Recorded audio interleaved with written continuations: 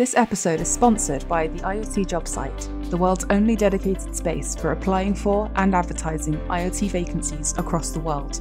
Register now for job alerts or get in touch via let's talk at theiotjobsite.com.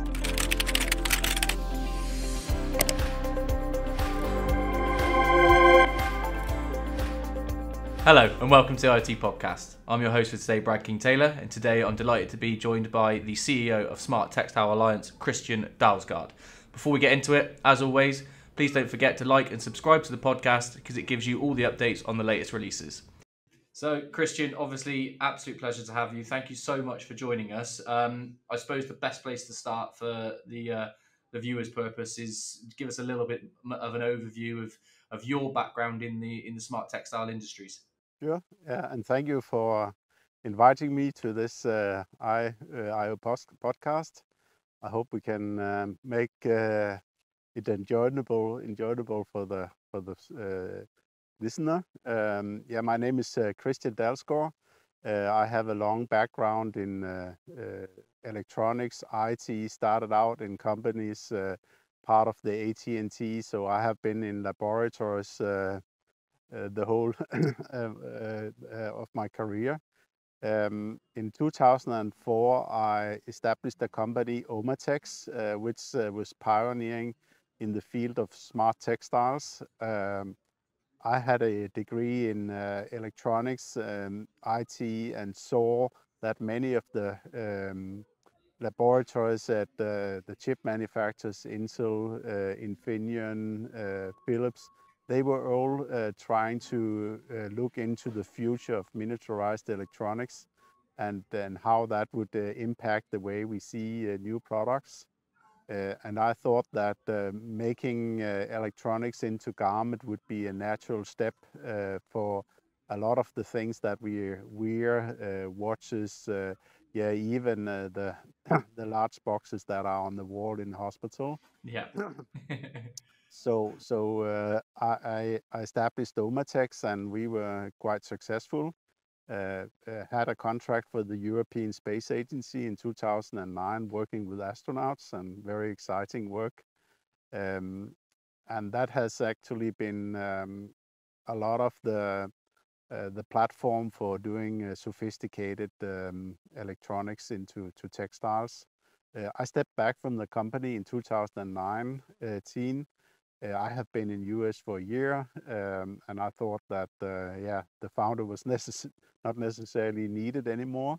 Uh, we had a good management set up, um, and I had the um, a thought that were that a lot of the uh, scalability issues that we have seen uh, actually came back to the lack of uh, plug and play components, industry standards and therefore we established the Smart Textile Alliance, uh, which is a non-for-profit organization in London, with the aim to join companies together to create a common uh, solution for interconnectivity so that you don't necessarily need to build everything from scratch. You can build uh, your electronics independent on which garment it's uh, intended for, whether it's a firefighter uh, uniform, a, a police uniform, or even a sports cloth.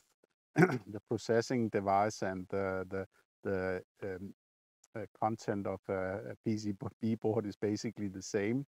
It's about reducing battery power, uh, and you know the, all that from the IT IoT world. Uh, so that was impressive and that was uh, inspiring for creating Smart Textile Alliance. Yeah, and, and to be fair, you just used the words that I wanted to, to say. It really is inspiring when we came across you as a company and what you're trying to achieve is amazing.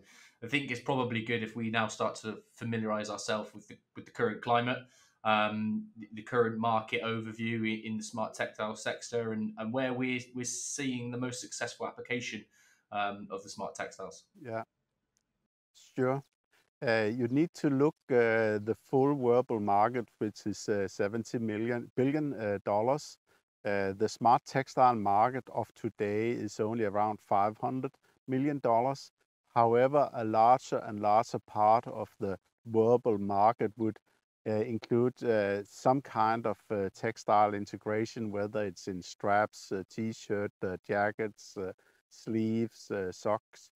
So um, I imagine that um, this 500 uh, million US dollar, which is the current market, would uh, expand uh, over the next uh, coming five to 10 years.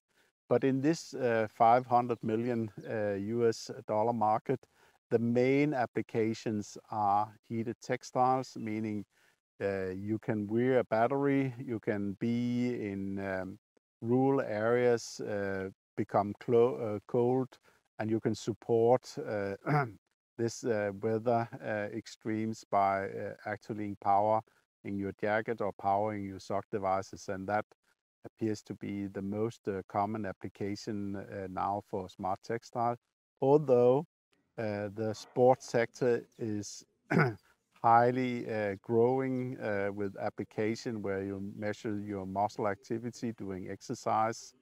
Uh, you can also track your motion um, so that you can optimize your shoot when you're in a football game. And and in in all uh, areas where fitness um, occur, it's good to understand the the, the heart rate. Uh, good to understand uh, your respiration and and track that. Um, also with the people in your surrounding, with the colleagues, with the friends, and uh, use it as a benchmark and motivation motivator. So that's the the the the main the main market is the heated garment, sports area, sports apparel. It's following, and then clearly in the future we will see a lot of uh, healthcare applications. Yeah, perfect. And um, knowing me as well, like I'm glad you brought that because sport is always been a huge part of my life. So seeing things like this now is just mind blowing for me. Um, I play a lot of football, a lot of golf, and and this can help a uh, not to a very high standard, I'll be honest, um, but I play it nevertheless. So people that do play that higher standard, I think this can be almost game changing for them. So it's great. Obviously, all these sort of things, um, nothing ever comes easy. So I'm keen to understand a little bit more about the challenges that you're seeing in the smart te- textile sectors. Um, and you early on you referred to the scalability, so it would be good to see how you've overcome those issues as well. Mm-hmm. Yeah. Uh, one of the main uh, challenging currently is that there are no uh, standard, no universal connectivity standards. Imagine um, USB uh, on computers before USB actually exists. There was proprietary solution for connecting a printer and you need to deliver both the printer and the computer and that could be an IBM for example and that really um, had the, a, a, bottleneck in the expansion of the market. Uh, similar, we see similar things here now in uh, the smart wearables. A lot of solutions are proprietary. I think I want to show this uh, as an example of a connector solution. Amazing. It uh, fits very well. Uh, I hope you can see. Yeah, yeah, yeah. It can be snapped. It can be snapped to a. Uh, it can be snapped to a T-shirt. Uh, however, uh, even this is washable and can support the data as well as power. Uh, since it's a proprietary solution, it, it, it cannot be reused in other application.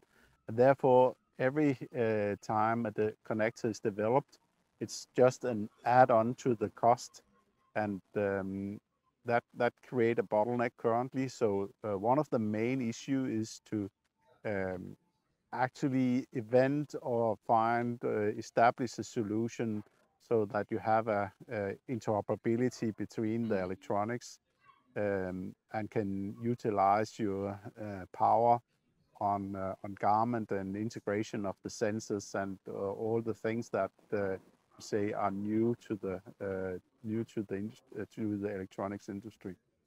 Yeah, amazing, and the fact that you obviously you've noticed the challenges you're working towards overcoming overcoming them. That's the, that's the main thing. So Look, we have a, a good overview of the industry now, which is great, um, and and the viewers would appreciate that. But let's talk more about the alliance, right? That's that's why you're here, what what we're interested in. So, um, going into a bit more um, depth on that, what is the Smart Textile Alliance? Where does the inspiration come from? Um, the inspiration actually comes from uh, the history about the USB, about Bluetooth, uh, Wi-Fi alliance, uh, industry was uh, that was lacking uh, standards, and I'm not here talking about um, um, governmental standards or or prescriptive standards, but really industry solution that the companies agreed on. Um, so and and the way they these standards have evolved and the technology have been widespread is because uh, there have been an agreement on establish a not-for-profit organization that can um, advance the specification, agree on the details in the specification, so that companies uh, that actually want to use that technology can have a say. And the the way it also works is that if you signed up to this organization, you will automatically uh, gain a IP rights to use the other members' uh, technology. So in advance of putting your own um, IP right into the pool, you will get access to the full spectrum of, of uh, USB or Bluetooth. And that's a huge advantage for, for everybody. Yeah. Um, so, it, well, yeah, huge advantage. And it's about building those networks, right? And it's the same for anything, anything that we do. It's, um, and that's why podcasts are so good because again, it's just another way of, uh, of growing the, of your network and sharing your message and all that sort of stuff. So the fact that you um, are working with that sort of ideas as well is, is superb. So how is the Smart Textile Alliance related to IoT development? Obviously, we are an IoT podcast, if you like, uh, to a certain extent. So, yeah, how how are you related uh, as a as a company to that? Um, uh, the the smart textile technology has a huge uh, in common with IoT miniaturization, uh, miniaturization, batteries, uh, autonomy, um, cloud solutions, uh, uh, infrastructure. so you can say from the technology side that it's a huge link between the IoT world and the, the smart textile world. Um, at the moment, we, we don't have any um, link uh, to IoT other than what you have been invited me to to participate in. Um, and uh, I, I hope that can be that can be developed, um, sure, because there's uh, uh, a lot of uh, similarities in the way the the industry develops. Yeah, uh, and develops is a is a key word in what we all do in in this crazy sector. You whether you're developing some sort of software or you are the the industry itself is developing, growing, ever changing, right? Um, and that's that's one of the key things in different things. So, um, what's yeah, the... I need I need to emphasize that the Smart Textile Alliance is not doing any develop ourselves. Yeah. So we're not a development house. Yeah. Uh, we we are a hub for for creating these uh, highly needed uh, standards or, or, plug and play solutions that uh, can uh, be beneficial for everybody. Yeah, of course. Uh, well, that leads me straight on to the next question. So, what is the smart textile textile stack, um, and how is the smart textile okay, alliance helping yeah. support product development? We um, uh, during during the years that I have worked with smart textiles, I have seen uh, a lot of um, uh, you can say um, logical separation in the way that the supply chain work. Uh, uh, textile companies, uh, yarn manufacturers have a huge uh, manufacturing setup for making really, really impressive uh, conductive yarns. And they are good at that. And I think they should keep being good at that. So thinking of how you build a, a smart textile product by having a layer with the fabric and the fibers uh, interconnected to a layer where you can have a universal connector and this in uh, this universal connector can uh, be uh, attached by a, a, a, platform of electronics whether it's a, a sensing device um, a device that uh, uh, work as connectivity between a Bluetooth uh, uh, or a Bluetooth connectivity to a smartphone, or whether it's a, a solution actually goes directly to 5G. The, the importance is that uh, you can separate the layer of fiber and fabrics to to the connector la layer to the um, to the processing layer and and on top of that uh, it's also important that to know that uh, everything you do in the smart textiles world ends in a washing machine.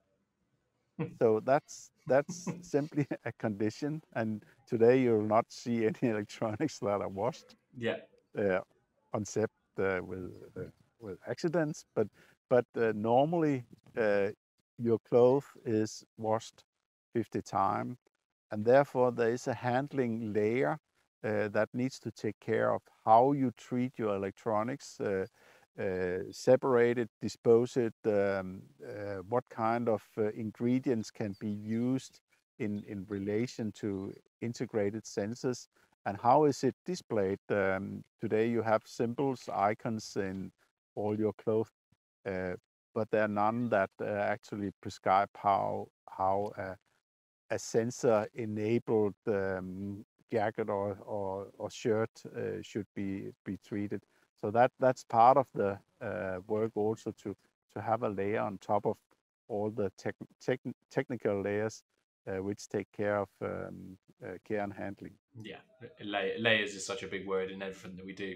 Um, there's always layers. Um, I can see that being clipped uh, for when we do the build up to this podcast. You talking about pretty much everything you do ends up in a washing machine, uh, which is a, a great quote. Um, so obviously, with with everything that we do, there's standards, right? It's one of the main things that everybody has to focus on: industry standards.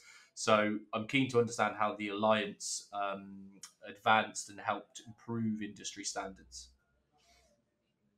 Mm. Uh, currently, we are in an infant state. Uh, mm. We were established uh, in 2020.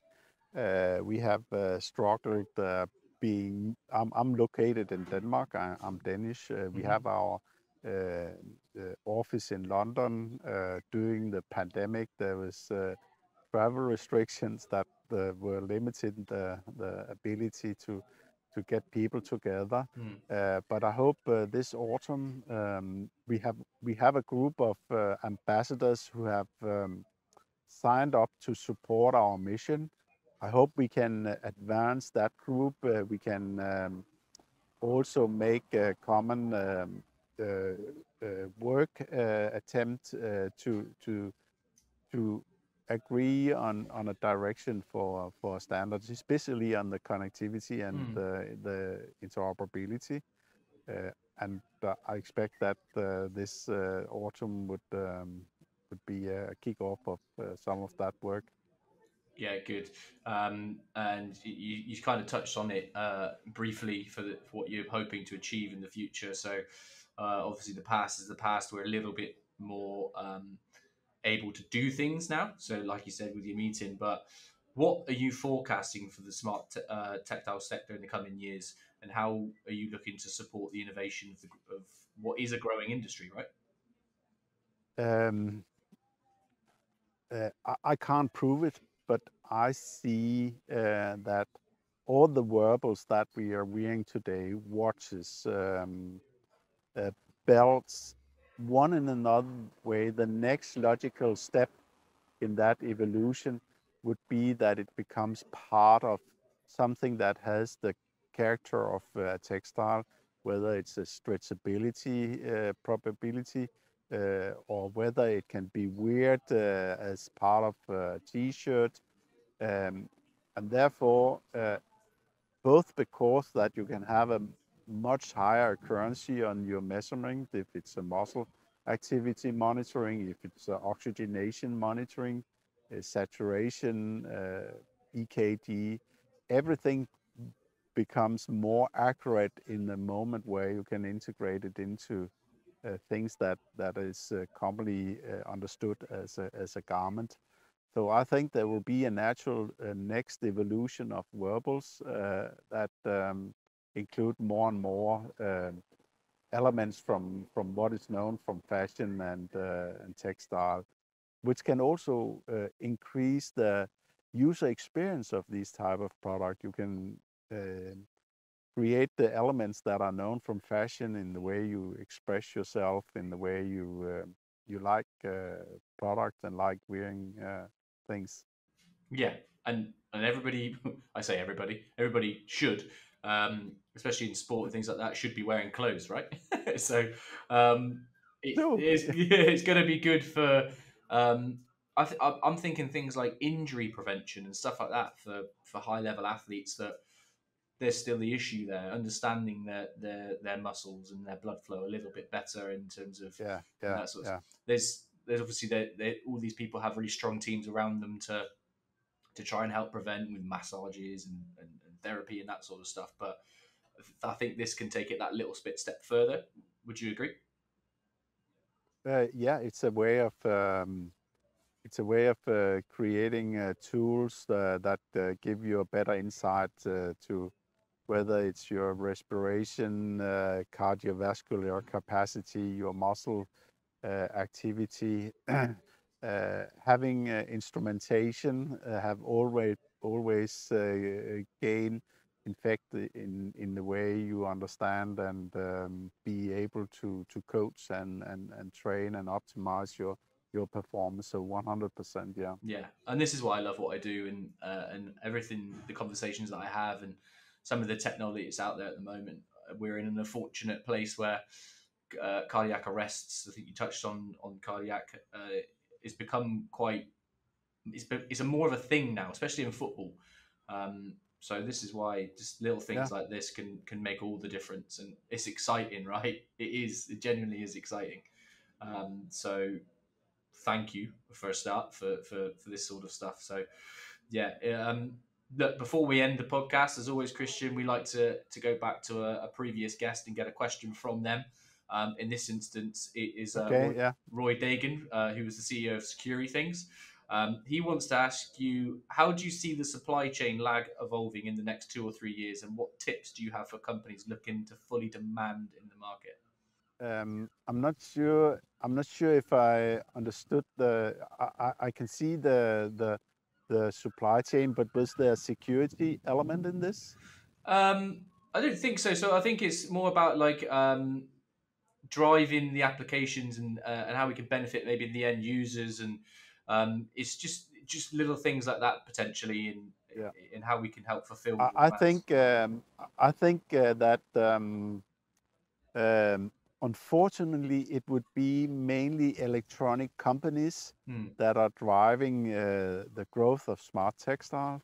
Uh, and that would influence the, the supply chain. It would be medical device companies that you would say expand more into soft uh, products, and th therefore um, I think the main the main um, value ch uh, chain or the main part of the value chain would be electronics uh, companies, but but they need to be supported by electronics um, uh, by by by, by um, yarn manufacturers, fabric manufacturers, and then I think uh, you could say if you take the uh, uh, electronic supply chain in the middle. You'll have some add-on in the beginning, which is fiber and, and fabrics, and then you'll have a new add-on in at closer to the consumer, which is the apparel industry. Mm. Um, so that the branding of products, uh, the way you normally think clothes, uh, sport brands, will adapt these solutions that uh, is uh, supported by the electronic uh, industries and uh, electronic developers. Perfect. Um, and I've got one final question. I know naturally a lot of the stuff that I've referred to and spoke about has been sport. That's just me. it's just who I am. Uh, I can't get I can't get away from it. But I'm going to ask you a question that hopefully um, it might. If we if we take that that sector away from things, what's either one sector that you personally, Christian, want to have a big impact on, or you see this being a big impact on? Uh, to what um, uh, to what I have seen, I think the motion capture is so interesting. Being able to understand your exact uh, shoot, uh, being able to understand how you um, how you behave when you're doing exercise, uh, and being able to track the exact, uh, you can say, motion. Um, clearly, the muscle activity monitoring, clearly the uh, vital sign, doing these exercises is also um, interesting. But being able to fully track how you move uh, when you're doing a gaming or game uh, and how you can optimize your um, uh, posture. Uh, I'm confident that that would that would be a fun and huge advantage for for athletes and and people that are serious about their their fitness. Amazing. Um, and health. Yeah, I, I am truly excited about where this can go. I think it's I think it's brilliant. Um, I noticed that you uh, you naturally went to a darts throw. Is that your game, or is that just what you you tend to use as an example? Do you play darts? Sorry. Do you play Do you play darts? You you you went straight for the dart throw on the, when you started that. Oh no, just your example that you use. Uh, Look, yeah, brilliant. Yeah. Again, thank you so much for coming on. It's been it, has been a pleasure. Um, yeah, thank you. And, and as I've said a couple of times already, I'm genuinely excited about where this can go. So, um, yeah, brilliant. Thank you. Um, the final thing, as always, is uh, if you can just give the listeners um, direction in terms of your socials, your website, that sort of stuff, and where they can find you. Yeah. Um, yeah, look into um, smarttextilealliance.com uh, um, or Google it. Uh, we are the only uh, with that name on the internet, and that will give a, a, a great inspiration. You can definitely also look into our ambassadors, uh, which is include which include the Danish uh, Technological Institute, uh, Fraunhofer, uh, Afor, uh, very competent institutes that can uh, help you with printed electronic, with a sophisticated way of uh, doing a system on on on flex um, uh, manufacturing garment. Uh, so the ambassadors, the, the group of ambassadors is a, a very unique place to start. And we also have a supplier directory where you can look for components um, and uh, specific uh, elements that can be used in um, uh, in smart textile and it's all trusted suppliers so we know what they do and we describe uh, in, in, in good detail uh, what you can achieve by using these uh, off-the-shelf products brilliant and a good way to wrap up thank you so much christian and it, i appreciate you coming on and joining us today okay yeah thank you and have a good day. And you take care. Enjoy the sunshine. As always, make sure you like and subscribe to the podcast. We want to make sure that we're giving you all the relevant information and updates on when the latest releases are coming. It doesn't matter how you're watching, where you're watching, as long as you're watching. Thank you, and until next time.